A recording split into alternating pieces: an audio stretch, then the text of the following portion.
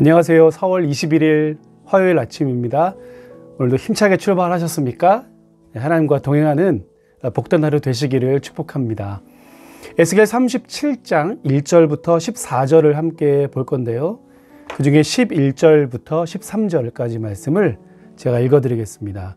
11절부터 13절입니다. 또 내게 이르시되 인자야 이 뼈들은 이스라엘 족속이라 그들이 이르기를 우리의 뼈들이 말랐고 우리의 소망이 없었나니 우리는 다 멸절되었다 하느니라.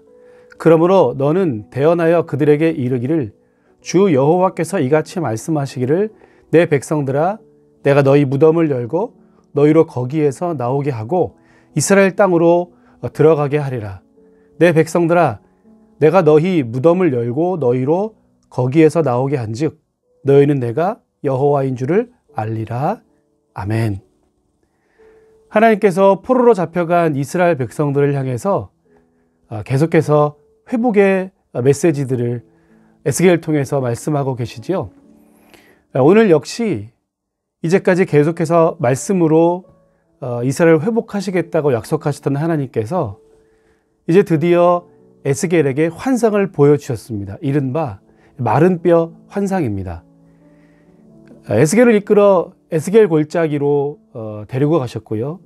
거기에 수 지천으로 깔려 있는 마른 뼈들, 죽은 시체들을 눈으로 보게 합니다.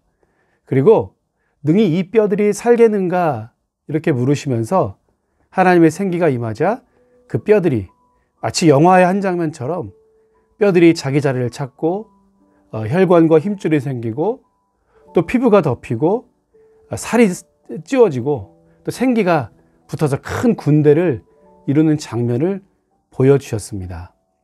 그러면서 오늘 말씀하신 거죠.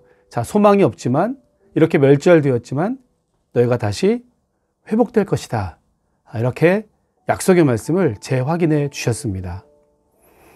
여러분, 오늘 이 말씀은 힘들고 어려운 시대를 살아가는 저와 여러분들에게 큰 힘과 또 위로와 용기를 주시는 말씀입니다. 어, 어쩌면 우리의 인생이 지금 우리가 처한 환경이 이 에스겔 골짜기에 에스, 어, 마른 뼈 같은 아, 그런 모습이 아닌가 생각해 봅니다. 어, 하나님 앞에서 마른 뼈 같은 나의 인생, 어디에도 소망이 없고 주님 아니면 한순간도 살 수 없는 존재라고 하는 아, 내가 마른 뼈 같은 사람입니다. 라고 고백하는 이 겸손한 고백이 먼저 있어야 할 것입니다. 이것이 회복의 첫 출발입니다. 그리고 우리가 살아가는 이 시대 말입니다. 어, 정말 하나님 없이 살아가는 생기를 잃어버리고 살아가는 마른 뼈 같은 세상의 유일한 희망도 오직 하나님신 줄로 믿습니다. 그래서 우리가 주님 앞에 이렇게 나는 아무것도 아닙니다. 우리는 우리의 힘으로 아무것도 할 수 없다라고 하는 고백 먼저 드리는 것이 회복의 출발이고요. 또 그리고 우리가 그런 의미에서 바라볼 때 오늘 아, 이 마른 뼈의 환상은 부활하신 예수 그리스도를 틀림없이 말씀해 주고 있습니다. 읽은 12절 13절에도 내가 너희 무덤을 열고 너희를 거기서 나오게 할 것이다 라고 하는 말씀이 계속 반복되죠. 아, 이 말씀이 어떻게 보면 그러니까 예수 그리스도의 죽으심과 어, 부활로 완전히 성취된 것입니다. 그러니까 진정한 어, 회복은 어, 예수 그리스도의 십자가와 부활에 있는 것을 다시 한번 우리에게 확인시켜주는 그러한 말씀인 셈입니다. 부활하신 주님이 우리의 유일한 희망이고 우리의 유일한 소망입니다.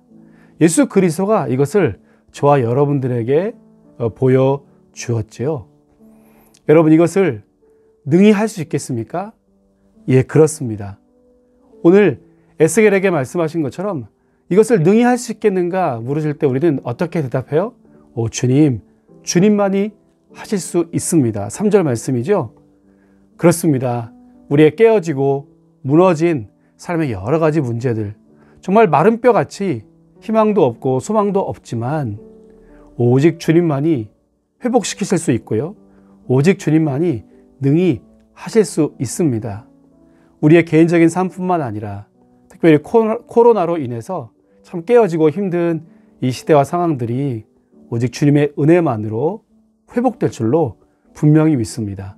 우리 부활하신 주님이 이 땅의 유일한 희망이고 치료제이고 유일한 백신인 줄로 분명히 믿습니다.